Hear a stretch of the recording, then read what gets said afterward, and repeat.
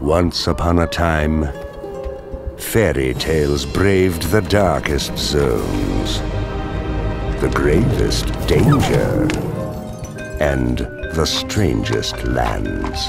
Um, where are we? Uh, no idea. Yep, no clue. From the New York Times best-selling author of A Tale Dark and Grimm and In a Glass Grimmly, The Grimm Conclusion.